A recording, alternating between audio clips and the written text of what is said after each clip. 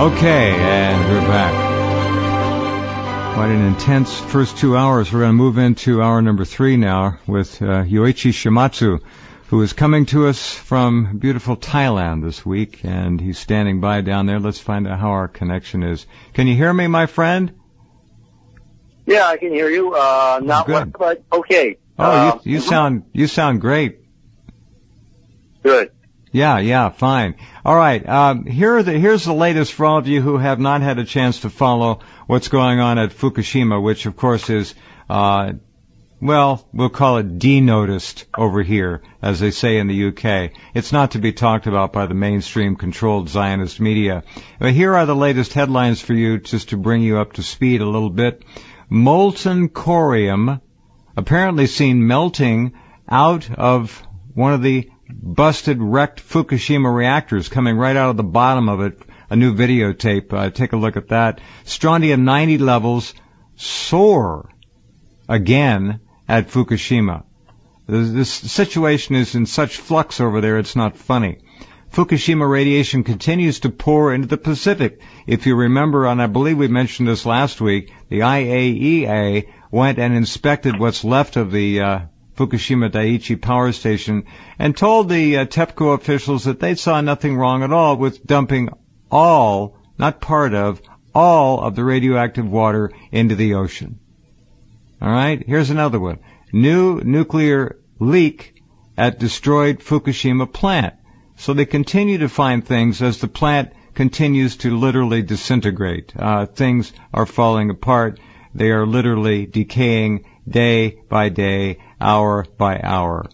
Uh, Japan has no sane nuclear waste disposal plan. Well, surprise, neither do we. Neither does anybody else.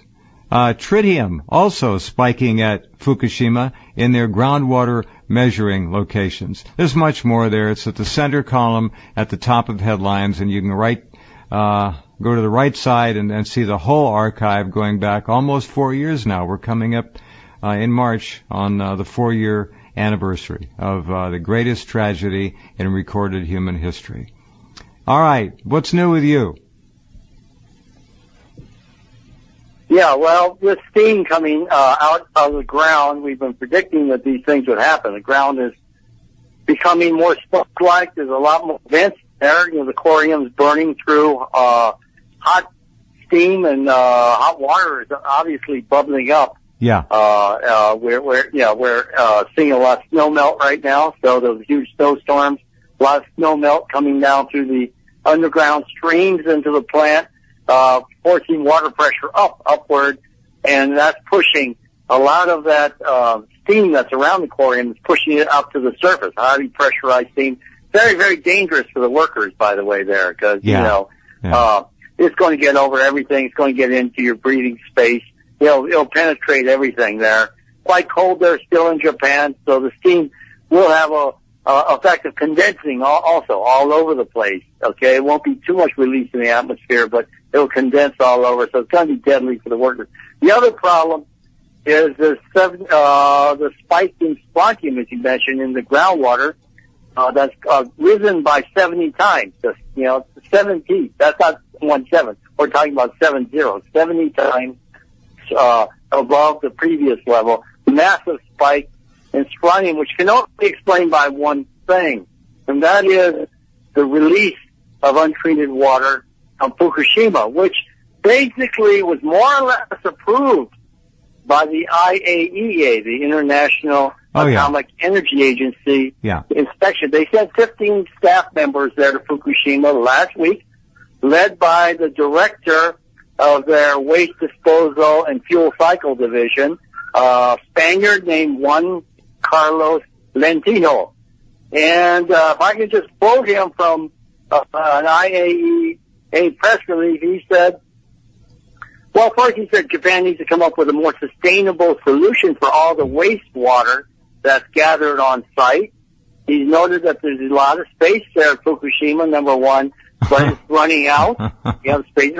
And they, then this is, uh, what he did. He advised, he advised that TEPCO should consider discharging treated water into the ocean. In Yeah. other words, more treated water Yeah. into the ocean. knowing full well he was there. He's seen the Areva equipment, you know, the big French company.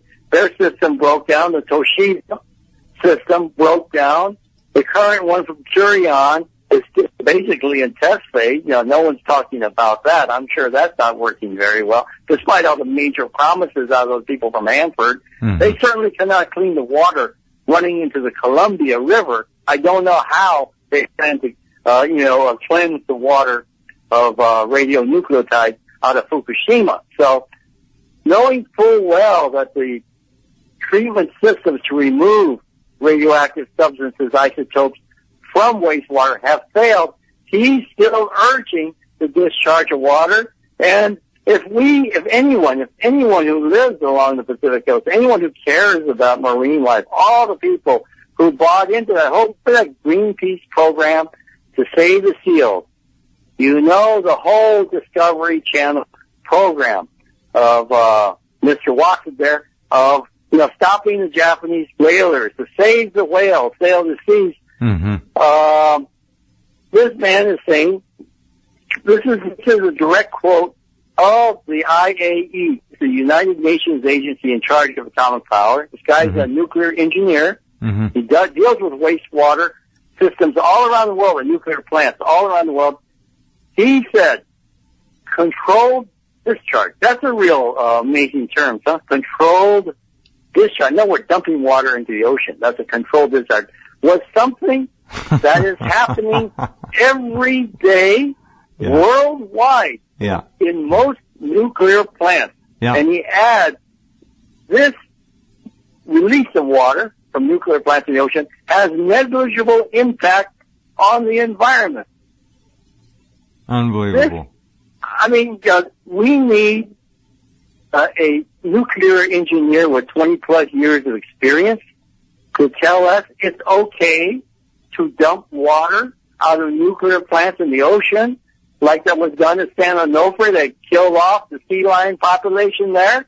That's killing off the sea life there. That's using the fish that you know fishermen, commercial fishermen, and Mhm. sports fishermen gather. Yeah. This man is talking. You know, these these are fantasies that are basically Well, when- fundamental lies you- in the interest of the nuclear industry and nothing but lies. Nothing. He is he nothing is just lies. incompetent.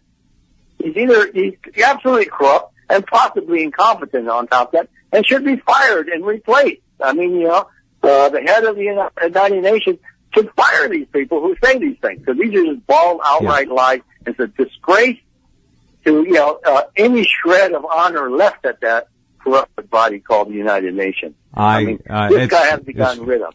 Uh, the whole United Nations needs to be gotten rid of, uh, Yoshi. It's all, Yeah. it's all rotted to the is, core. yeah, it is doing no good at all. It's No, none. no- Whenever you hear And these, whenever, it- go ahead. yeah, huh? Whenever, whenever you hear know, these yeah, clowns, Is it uh, any wonder? Yeah.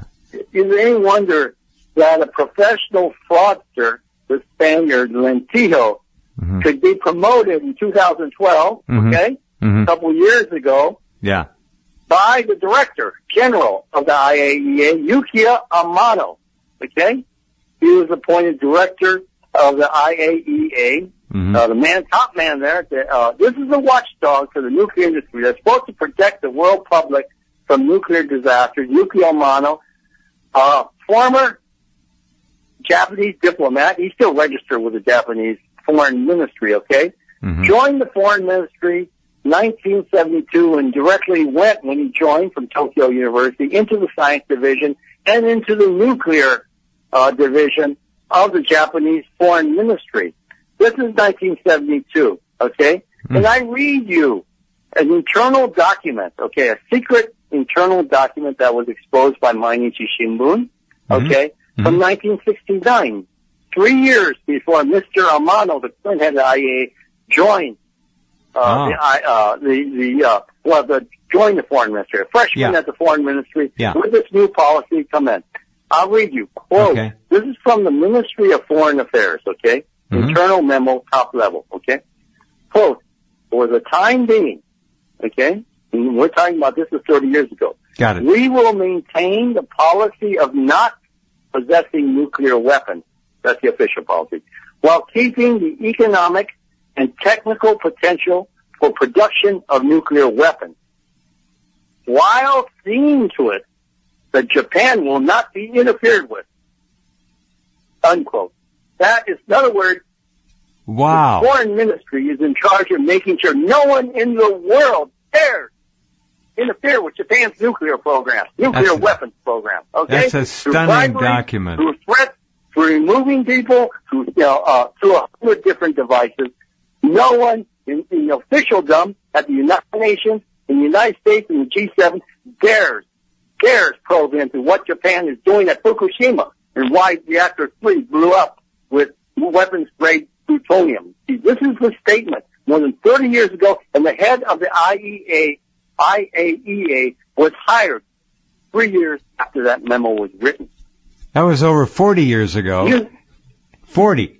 40 years ago, yeah, 69, excuse me, six, uh, 40 years ago, 1969. Whenever you, whenever you hear, whenever you hear these, career has Yeah. been there, spent covering up Japan's nuclear weapons program, That's and right. he's the big boss at the place that is supposed to be enforcing, enforcing Yeah. a non-nuclear co- uh, country to abide by the non-proliferation treaty. The Yeah. wolf is inside the hen house for sure, and this is why this is the third visit by the uh, IAEA to Fukushima and the third absolute whitewash uh, turning uh, night into day there, and uh, with absolute lies. The whole lot of them have to be fired. This agency Oh, is yeah. absolutely corrupt. It has to be bulldozed. All the people there should be put before international war crimes trials Well, for crimes against humanity and against the environment yeah, and an entirely new non-proliferation structure needs to be created from the ground up with completely new people. I wish I could This say there was a chance that's going to happen. Whenever you hear these clowns use the word sustainability or sustainable, uh, you know who they're working for. You know where their hearts and minds Yeah. lie. They're uh, they're career Well, criminals. it will, it will happen. It will happen. It's going to happen too late, unfortunately. Yeah, it will right. happen after all life form. When people started dying as fast as marine mammals, when people across Asia, across the Pacific, when people in North America and Canada and the USA start falling, dropping like the sea lions are dropping, that's when change will happen. But it's going to be awful It's going to take that. You're By right. that time, the criminals will Yeah. be hiding out somewhere. They'll Of be course. gone. They'll be Oh, hiding out, leaving the mess to the next generation. They'll be in their rabbit who holes. don't have the budget or the tools to deal with it. Totally correct. You're totally correct. It'll take something like that before there is any action at all. Uh, I couldn't agree more. And you know the stuff that Dana's seen of mass extinction. So as you say, this is the greatest tragedy. This is the biggest extinction event in human history. The biggest human caused extinction event. Yeah. This is the biggest human caused climate change event. Okay, Yeah. never mind this other stuff, fossil fuel. This stuff has altered the weather. People in the uh, eastern states the United States haven't noticed. Some major, major changes in the jet stream, the They've of the noticed. jet stream. Yeah. Yeah, Yeah, uh, yeah, radiation, powerful force that never should have been taken out of burial in that deep rock where it belongs. It was only when that radiation was covered by sediment did life begin to emerge on this planet. And the idiots who dug it up are now killing all those millions of years of evolution it took for life to, to develop into these, you know, thousands of species uh, that Dana has been seeing off the coast of Vancouver, off the coast of Canada and Alaska. Well, the the six It's been millions thousand. of years for that development. That's yeah, the six thousand five hundred species or so that he hasn't been seeing off the coast of British Yep. Columbia. They're gone, Yeah. and uh, we don't Yeah. know how much is left, if anything, much at all in the Pacific Ocean. Hundreds of millions of years for those to evolve, Yeah, to develop, exactly. to find their niches. And four years to wipe them out. That's uh, I mean, uh, these are criminals. I mean, worst, these are the worst criminals uh, ever seen in human history. I mean, we've seen Genghis Khan and all that. no, no, Those they're guys they're were monsters. They're compared mon- to yeah. with the nuclear. The- These the people are they're monsters, uh, Okay. Yoshi. They're monstrosities. They're not human. Yeah. They don't. They're sociopaths. They're crazy. Uh, they, I don't. I run out of words. Let me see if uh, Dana Durnford is online with us tonight. Uh, Are you there, Dana, by any chance? Yes, Jeff, thank you. I was just listening. You know, it's so shocking, and people can't wrap their minds around it when you talk to them. They really, truly can't understand what what's going on. They they give up right away. They say, "Oh well, what are you going to do?" Die. Like uh, You know the answer to that is die. That's what you're going to do. I I tell people, it's not like a heart attack in your sleep and you, and you just die. You never wake up. This is you liquidate your assets and you go kicking and screaming the whole way through. Yeah. And you know, th- this is an extinction event. There's no doubt about it. Uh, the last three days, I got to the outside of some major islands, big hits, uh, 4,000 pictures, and uh, today I had to take the boat out of the water when I got back toward a transducer off, the sounder off. This was a little tricky getting back through the group of islands today, but I can't find anything out there. It's so boring. It's sickening how boring. It's so quiet, so still, and there's just nothing to take a picture of. No like- birds, no fish, no nothing. No nothing. I can't see anything out there. I mean, it's truly shocking to see it completely gone. And so the North Coast got hit a lot harder, even though the, the south part of Canada, West Coast, is Mhm. pretty naked. 26 species hmm uh, in any given area if you were lucky. But this is naked up here. It's really something else. And I've seen one eagle, and you're just sitting there on all these uh, rocks, and there's all these islands all around them. They're all naked, every one of them. And so it makes you wonder, you know, how could he even survive just a single eagle all by himself? It's so shocking that the world, I think, might change the game. You know, you can't hide it much longer. No, you can can't. But you know, when you when you own the media, Dana, you just Yes. don't talk about it. And when you don't talk about it, it doesn't exist in the minds of the sheep. They just don't know any better. And even those that do can't, as you said, literally begin to wrap their minds around the dynamic of this catastrophe. I don't, it's a, it's beyond a catastrophe. It's that bad. And only until, as Yoshi said, people start dying in the streets, and they will in time, slow burn, they'll just fall over, not in one day, but they'll fall over in a, of an accumulative radioactive death. Uh, they're going to have cancer. There'll be all kinds of diseases. Maybe then somebody will say, well, gee, where's the EPA? Why haven't we had reports from the Canadian government about this? And then it'll get swept away again. Now we're just having global warming, uh, ocean acidification, some new virus in the ocean waters causing the sea life to die Over off. I, I saw, where did I see Yoshi? I sent you the story today. Uh, they're blaming it on, Yeah. uh, what was it? I can't remember. Yeah, this was Acidification a, or uh, something. no, natural defense, Yeah. natural, uh, uh, natural resource defense council. Yes. Uh, yes. NRDC, very famous NGO, more than one million members. Uh, I think it was created by that fellow Lester Brown. It's run by a Harvard professor, I mean, not, excuse me, professor from Columbia Law School, uh, named Lerner, okay? Uh, he's basically in that faculty there with, uh, Alan Dershowitz. This is the Zionist law school in the world, okay? There's not, there's not a more Zionist law school in Israel than there is at Columbia, okay? Uh-huh. And he's out of there and he's talking about, oh, uh, acidification of the ocean caused by the burning of fossil fuel, carbon dioxide and all. Well, if that's the case, you know, I mean, I study chemistry. Show me the red tide, okay? Where is all the algae buildup? We don't see algae. Water's getting cleaner, yeah? Okay, if there is this acidification, Yeah. yeah, the sea should be a giant muck, a huge, you know, sewer of algae. It's It should clean. be. It's clear. Yeah. Yeah, right? No, I no, mean, you know, bacteria, a little everything else. They love acid ground, environments. grass grow taller. Okay, acid.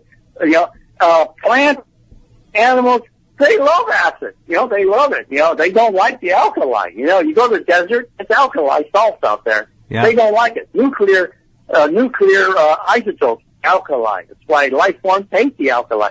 They they thrive on the acidity. You know, it's no problem there. So acidification of the ocean is the most absurd baloney, not coming from scientists, but lawyer from Columbia Law School, Alan Dershowitz's school, and everyone knows what Alan Dershowitz. You know, he's a man who wrote In Defense of Zionism. You know, oh, the Palestinians are killing us, Israel. We have to fight back because we're facing all these evil terrorists coming through every window and door. So, you know, don't blame us if we have to send F-16s out there and drop bombs on apartment blocks. Okay? Well, don't, this is don't, a man yes. who thinks like this. Lerner is part of that faculty. Doesn't say a peep. Know, uh, and uh, he's coming out with this stuff. Why? What is the connection between Zionism and the nuclear bomb? Was not the nuclear bomb and the creation of the nuclear bomb connected with the creation of the state of Israel? Was it not? Did not those two things happen scientific, uh, at precisely the same time? Okay? So you understand why the folks at Columbia Law are so eager to take the light off of Fukushima, off of nuclear, off what's happening in the Ukraine, off of what's happening at uh, le- with continued leakage of San Onofre, off of Hanford, because they've got a huge stake in atomic weapons.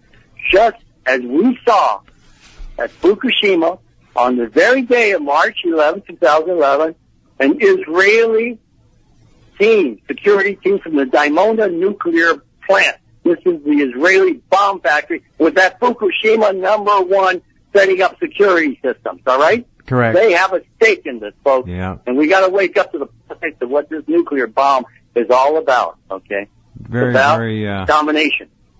very grim stuff. Ideological, All true. political, economic, financial domination. It is global terrorism, and there's no other way to talk about nuclear weapons than as global terrorism. Uh, terrorize everyone on this planet. Indeed. All right, we have to take a break. We'll come right back. Please remember what uh, Yoshi just said about acid and the lie about acidification in the oceans caused by global warming and viruses in the ocean killing off life forms. It's all a gigantic lie. All of it. Black is white, up is down, and it's all a con job. We'll be right back.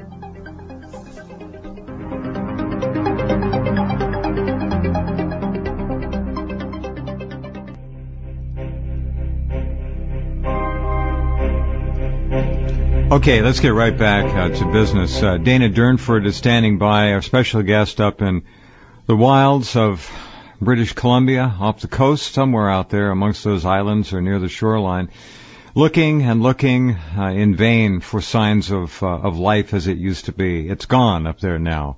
One eagle, uh, nothing along the shores, tide pools devoid of life. You heard Yochi mention this uh, piece of uh, garbage I sent him today. Uh, it's called. Let me. I've got to read a little bit of this. This, you, folks, really, please listen carefully. This is very important.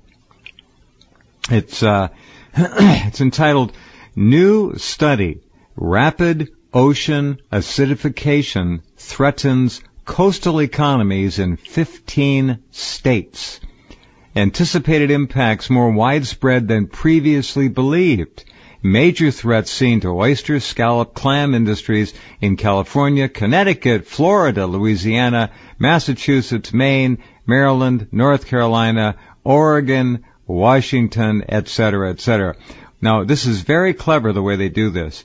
Uh, although very simple to see through if you just understand what's really happening. The first nationwide vulnerability assessment for ocean acidification published today in Nature Climate Change shows that coastal communities in 15 states that depends on the nation's approximately $1 billion worth of shelled mollusks are at long-term economic risk. Okay, now, get this quote. Ocean acidification has already cost the oyster industry in the Pacific Northwest nearly $110 million and jeopardized about 3,200 jobs, said Julia Ekstrom, who was lead author of the research while a scientist with the Natural Resources Defense Council, the NRDC, and now is at the University of California, Davis. She said also, our research shows for the first time that many communities around the U.S. face similar risks. Here's the kicker. The report reads, Ocean acidification is the result of oceans absorbing the growing amounts of carbon dioxide produced by burning fossil fuels. Acidifying waters make it more difficult for creatures with calcium carbonate shells or skeletons, including mollusks, crabs, and corals, to grow their shells and survive. The research study co-authored by scientists at the NRDC, UC Davis, the Ocean Conservancy, and Duke University, and collaborators from nine additional institutions integrated physical, economic, and social data into an assessment of various regions' overall vulnerability. I'm going to stop there. This is such crap. It beyond, it's beyond my ability to explain it to you. I, I could spend two hours talking about this stuff. Let me simplify it. When we talk about your health on this program for years and years, we talk about the human body not doing well when your blood is in an acid condition. Everything loves to grow in an acidic condition. We tell you to become alkaline. And when people simply change their blood chemistry and go alkaline, in many cases, catastrophic illnesses and diseases go away. It's that simple. So as Yoshi said, if the oceans really were suffering from gross acidification, they'd be crawling with life. There's nothing out there, folks. Very little left. Uh, anything to add to that, yeah, Yoshi? This, this, Jeff, you're, yeah, Jeff, you're absolutely correct. I mean, when I talked about the kill off of all the mollusks, all the shellfish uh, in Tokyo Bay, their Yep. shells were fine. There's nothing wrong with their shells. They died from inside. You know, it's their flesh that's dying, not the shell. Yep. And, you know, I live upstream from, uh, you know, my house, my radioactive house. It was, is, whatever left of it, you know, uh, upriver from there, in the middle of massive limestone mountains. No shortage of limestone, uh, of you know, calcium, moving into Tokyo uh, Bay. Tons Yeah. and tons of, you know, the place is littered with shellfish. Now, there is, I tell you, there is no problem with calcium carbonate, none whatsoever. Something else is killing the flesh, the muscle, the muscle nervous tissue, okay? Look what it did to Of the- starfish. of- It of the- dissolved the them. cell walls of it. Yeah, it's something completely different. They're not dying. You're not seeing these shellfish with a lot of holes in them. And I'll ask the fishermen out there, okay, the the uh, oyster farm people who own rush oyster farms and who uh, you know uh, put clam, you know, uh, dig clams out of sand. Do you see a lot of holes, thinner clam shells now? I'll tell you no. But you will see they're dying from the inside. You will see, I guarantee it, these bivalves, like I saw in Tokyo Bay, two have still very tight together, okay? Dead on the inside, hollowed out, okay? The mollusks are being hollowed out and therefore it is not a calcium related disease that's affecting them. What is affecting them is something far more toxic that's destroying the cell walls of their motion tissues, just like cesium destroys their heart muscle and causes heart stoppage, okay, to the elderly people in Japan. Why we've had record death rates every year since Fukushima in both, in both Japan and in the United States. The death rate is rising because people are falling from coronary disease, which was more under control. You gotta admit, there's a lot less people, people smoking, a lot more people doing exercise, healthy diet. Why suddenly a heart attack's going up? Is because of radiation, okay, because the ingestion of cesium. So let's not get around, folks, uh, what is really killing the shellfish out there. NRDC should be ashamed of itself.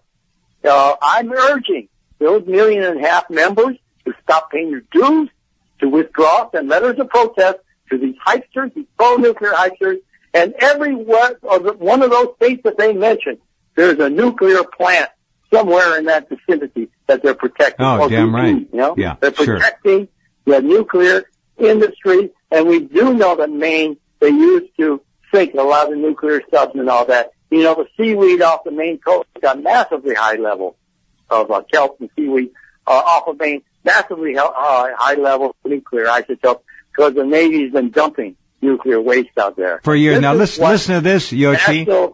Uh, newly identified communities at risk are from Maine to the Chesapeake Bay to Louisiana's Bayou country. Nuclear power plant country. You're exactly right. Exactly. Plus nuclear dumping on top of that. Barrels of nuclear waste being dumped by the industry, you know, and by uh, military forces being dumped off those shores, thinking it's okay to do sea dumping. They are in the pocket of not only the nuclear energy industry, but also the nuclear weapons industry, folks. This, the National Resources Defense Council, well, I hate to use that three-letter acronym, but let's get very clear where they're coming from. How to get their financing is not from one and a half million people, okay? It's from a certain government agency. Unless let's get clear about who Lester Brown was and all these attorneys were. They're all in the hire of the federal government, okay?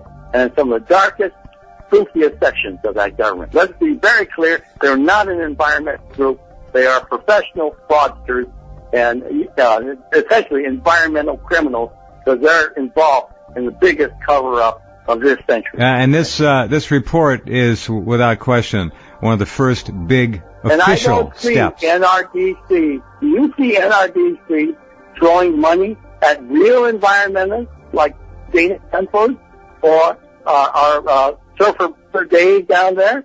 Right. Not one Hi, penny. Jeff Okay? Right, Not right, one penny. Exactly. That's exactly right. Yeah, Dana, let's go back to you here. Uh, Todd, kill the commercial, will you, please? Thank you. Go ahead, Dana. Yeah, thank you, Jeff.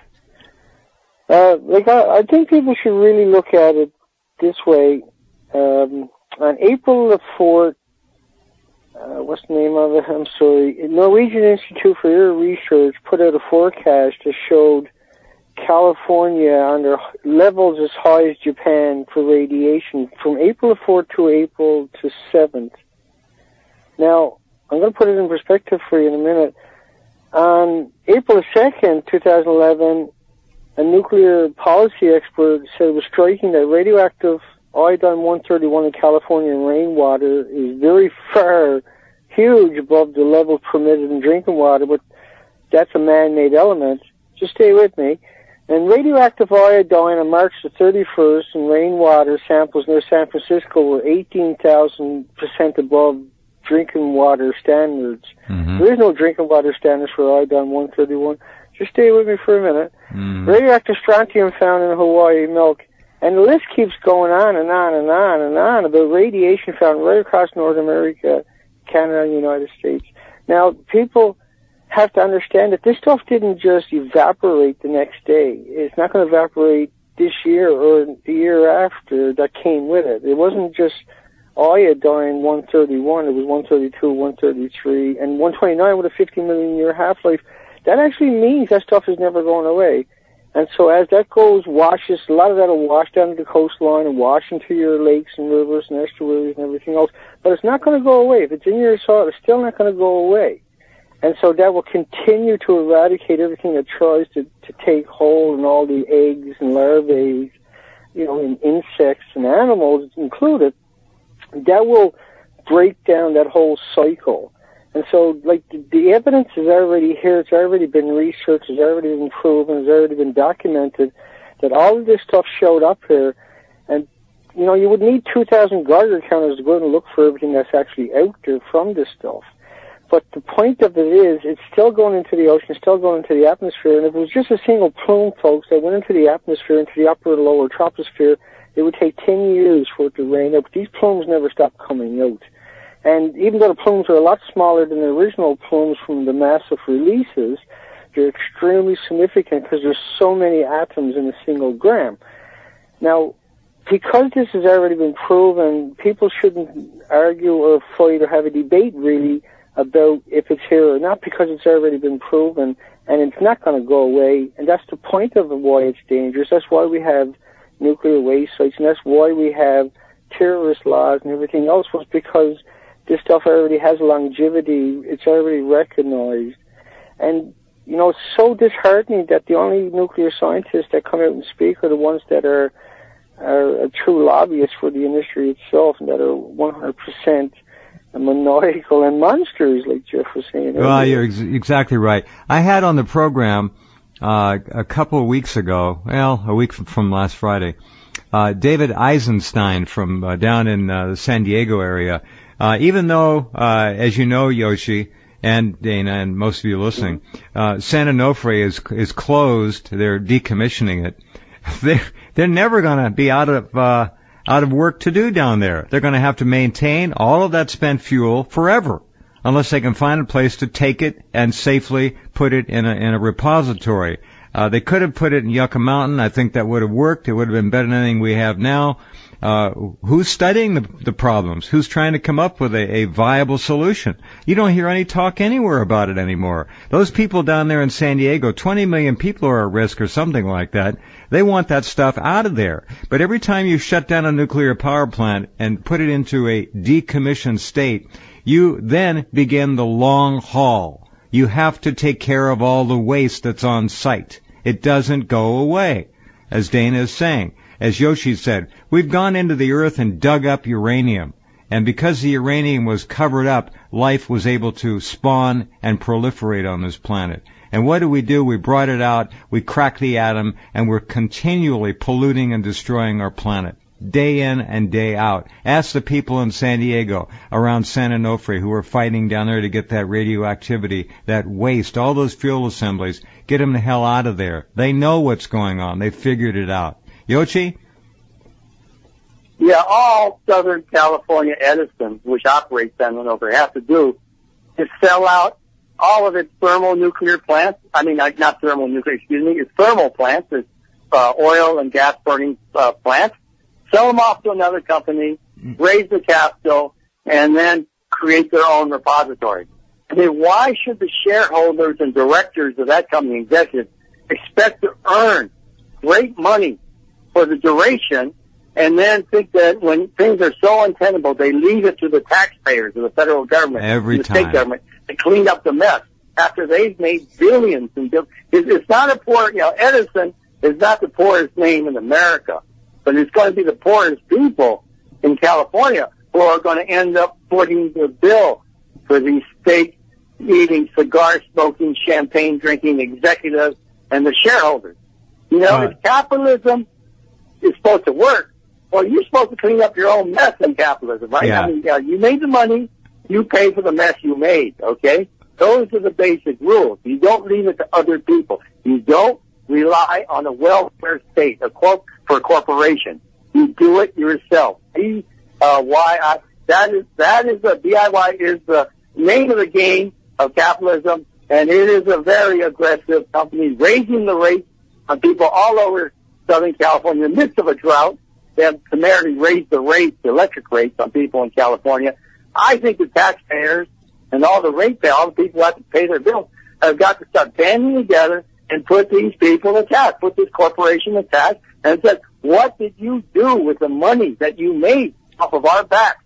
It's time for you to reinvest that money to clean up this neighborhood. Not one You're not single, gonna leave it to not, not one single nuclear power plant has ever been profitable for the uh, Yeah. the ratepayers. They've all gotten screwed every Yep. single time, and always will, because now they're stuck with the uh, long-term, forever proposition of trying to take care of the nuclear waste. Uh, Dana, go ahead. You're up there. in California, just one thing, question in California that has to be raised is Governor Jerry Brown, Mr. Environment, Mr. Yeah, Green, Governor yeah, yeah, Green. yeah, Where have you been? Where Yeah. are you? Okay? yeah. He's somewhere out in the Hey, Dana, cosmos. let's I hear think. Dana. Further north. Let's go from south to north. hey, um, I'm I'm really hardcore at it the last four days. In particular, like I was saying earlier, I wanted to remind everybody was the expedition for life is what we're doing is we're looking at the west coast of British Columbia, Canada. We've been on the ocean since August. I've been out here by myself uh, since the end of November, and the trip doesn't. It wasn't supposed to go this way, but it ended up going this way because I, I feel the urgency of I have to find life, but we can't find life. And the last four days in particular has been mind-numbingly boring in the sense of I know the rest of the trip is going to be the exact same thing every day. It's like Groundhog's Day every day, where you go out and you you're not you don't have the heart in it looking for life anymore. You just have the heart to document it and the will to finish the job because it's just impossible to imagine that just several years ago you would break your neck trying to go ashore at the low tide line anywhere in British Columbia. And this is what I specialize in, is low tide zone. And now you can go ashore anywhere in British Columbia and there's nothing to worry about. There used to be 600 algae, 600 kelps, folks and you would slip and slide. Very dangerous, extremely dangerous, very slippery, unimaginably. Nobody can make it up to the high tide line at low tide without really hurting their elbow or their knee or twisting an ankle or really, really being an acrobat. Now Right. anybody can walk ashore anywhere. It's inconceivable. It's just this is devastating to the entire ecosystem because that is the nursery of the ocean. It's all missing. The very nursery of the ocean itself. And the, the, like the carbon, the biggest carbon sequester of the ocean was the phytoplankton. And that's missing. That was also the biggest oxygen producer, obviously. And it was the basis of the food chain, but it was also known as the biggest carbon sequester on the planet. And so they're blaming everything on, on carbon, but there's nothing there to sequester it like the normally has been doing throughout whoever knows how long this process has been going on. So that is all missing, and all I'm trying to, uh, you know, when I say things like they can't hide it much longer, this is, I truly mean they can't hide it much longer. I can't see how they can. They can lie about it all they want for a short period of times, but it's going to be impossible to ignore a dead ocean. Like I can't ignore what I'm seeing out there every day. It's it's enough to make you cry. I kid you not. It's Dana, so are people going to get to a point where they they go down to the shore and time is on the controller's side? Uh, if people go down to the shore and get used to seeing nothing, well, they start to think that nothing is normal? See, that's the game. That's how they play it. That's what they're hoping for. I I, think, think there's so. too many people with a memory. I think there is, and I have ta- I have talked to some people, and they they had very visual reactions. You know, like I do know some people have told me, and when I say there's no nothing on the shoreline, you can go ashore anywhere in a boat. That really, they understand that part. You know, where it was dangerous to go ashore at low tide. That really works for the people that are used to the coastline or fishermen or people like that. They would understand that because that would that would resonate for them. But a lot of people just don't automatically think of that, like you just said. See, a lot of people don't unless you prod them a little bit, and that's a problem because it's like you're feeding the people, and it doesn't doesn't feel right. You want them to remember it themselves, but you have to ask them, and then they have a reaction to it. And, they, Right. and even the same thing with the mussels. The you know they came out with this acidification of the ocean. Obviously, that's the cover story that they're using, and they're going to stick with, and they're going to have been using it for a long time, and now they're really going to come out and use that over and over. Having the big wig come out, the nuclear scientists come out and say it, is for all the media now to come out and puke it back up, and then feed it to the, the willingly incapable people that follow them, and the people that put their faith into them. I think I think that cycle is broken coming up this year. I really do believe that because something, someone out there is going to break this. All you need is, is a big actor or a big celebrity or a big sports, blah blah blah musician. Yeah, or well, you- to come out and say it, and you can yeah. say the Well, you're right, but th- wh- wh- whoever is going to do that will probably end their careers. So it's, we- we may have a long time to wait, and that's the sad truth of that. Listen, Dana, we're running out of time. Uh, t- how you feeling physically? Okay, good enough. Physically, I'm I good, really good. Physically, I'm really good. I'm geared up to go. I'm I'm going to finish this trip in record time and get back and really do the number on them. I'm going to do my part anyway. All all I'm saying is I'm going to do the best job I can. I'm going to get back down south and package it up and get it out to people All right. and see if that starts that debate. Well, you're doing a wonderful, folks. heroic job. We really thank you. Uh, Yoichi, say good night. Say good night to. Uh, great Thanks. to hear you, Dana. Yeah. Feeling better now. Getting over those wintertime blues. Good to see. I always Good like to hear that. you anyway, Glad so. you're back in strength. It's good because I get, that's the only information I get is when I listen to you. So I appreciate it. You're really All right. good, man. You're on the ball. Thank you. Take Good care, night, Dana. Jeff. Good night. Okay. Yeah. Good night, guys. Bye bye. He's he's up there all all alone, uh, folks, since November, out in Yeah, really rough brave. seas, uh, Hey, beyond just one brave. point, Jeff. Yeah. Now, just one point, Jeff. Just to make sure that we don't confuse some of your listeners, too much acidity in the body is bad because when you reach adulthood, you don't want to keep growing because if your cells keep multiplying, that's Correct. called cancer. Okay. Yeah, you got it. Therefore, what you're suggesting of more alkaline body is to discourage that wild, uncontrolled growth. Okay. We That- always tell people uh, so, go know, so people go don't alkaline. confuse uh, Right. those concepts. Okay. Very good. Yeah, always strive for alkalinity. Uh, just keep keep it under control, folks. Uh, it's so easy, truthfully, to cure major illness. You you just don't need what the doctors are going to give you. You need to start taking care of your body properly. It's it's really that simple. You are what you eat, and most importantly, you are what you think. And that's what we're here to try to help you think more clearly about everything. All right, uh, what's up next on your agenda? We have about a minute left, Yoichi. What are you going to be doing? Well, I got, uh, I'll be talking to you shortly about my plans. Uh, we're going to go official with this, uh, stopping the Tokyo Olympics, moving them to Hiroshima, Nagasaki. Ah, coming up this spring. all like right. baseball season, it's coming up, alright? okay. So, We'll be here. and we play baseball in Japan, you know, and you know, he's throwing all just like they do in the Major League Baseball. So, you know, it's time to strike them and get a few home runs. That's All right. the spring schedule. Good Yeah. job. All right, well, we'll be here. Slug it out with you. Okay. Take care. All right. Yoichi Shimatsu and uh, Dana Durnford up in BC, and thanks to all of you for being here. And keep in mind that uh, knowledge is king, and we try to give you as much as we possibly can. All right, we'll be back in 21 hours. Thank you.